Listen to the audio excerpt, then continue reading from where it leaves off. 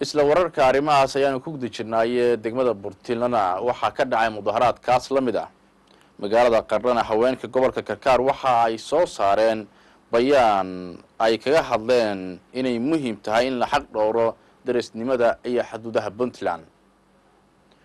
Wariyaasheena qardho iyo burtilne ayaa warbixinada amuuraha noo soo diray xarunta dhaqanka boqortooyada ee magaalada qardho waxay udubdhaxaad u tahay isimada marjaca ah dhismaha puntland. Maalin ka hor ayaa ay ahayd markii kulan ballaaran oo looga arrinsanayay sheegashada maamulka uu dhismihiisa ka socdo degmada cadaado xuduudaha puntland ay isugu yimaadeen madaxda dhaqanka gobolka karkaar hase ahaatee waxaa kulankaasi barbar socday kulamo maalmihii ugu dambeeyey ugu socday gudaha magaalada qardho haweenweynaha gobolka karkaar bacdama ay kaga arrinsanayeen faragelinta qaaban oo ay wadaan walaalaha degan degmada cadaado oo ay ka wadaan soodimaha dowladda puntland maadaama dowlad iyo degmo aysan isku awood ahayn kulankaasi oo maalmihii ugu dambeeyey ugu socday gudaha magaalada qardho haweenkani ayaa waxay maanta ka soo saareen bayaan. Waxaa bayaankii ka soo baxay kulankaasi warfidiyeenka u aqriyey astur jawaase cabdiseed baaq nabadeed oo ku wajahan gobollada dhexe iyo dowladda federaalka iyo beesha caalamka.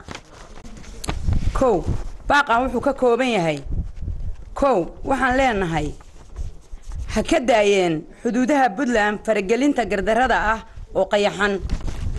Labo waxaan leenahay gobollada dhexe ha ilaaliyeen walaaltinimadii daris wanaaggii soo jireenka ahaa. Saddex ummaddu maanta ummadda soomaaliyeed waxay u baahan tahay kalsooni nabad waarta uma baahna jiidjiid iyo dagaallo sokeeye.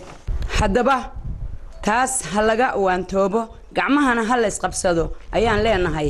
Haddaan nahay gabdhaha gobolka karkaar degmada qardho iyo nawaaxigeeda.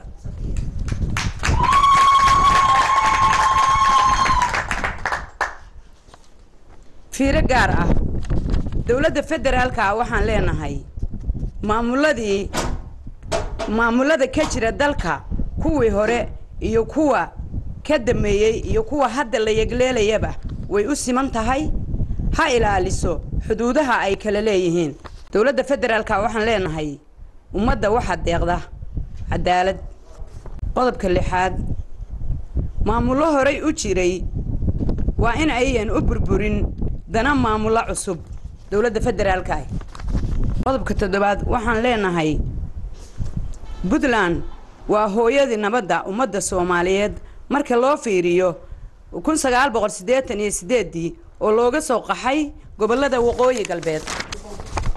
Iyo kun sagaal boqol sagaashan iyo kowdii oo looga soo qaxay koonfur baydhabo jubbooyinka iyo gobollada dhexe sidoo kale dhammaan haweenkii ka hadlay kulankaasi ayaa yidhi maqaamkii dowladda puntland ay ku lahayd adduunka ku bedelan mayso colaad balse haddii aysan dowladda federaalka iyo beesha caalamku aysan soo faragelinin daandaansiga qaawan ay wadaan degmooyin ka tirsan gobollada dhexe in cawaaqib xumo ay ka dhalan karto.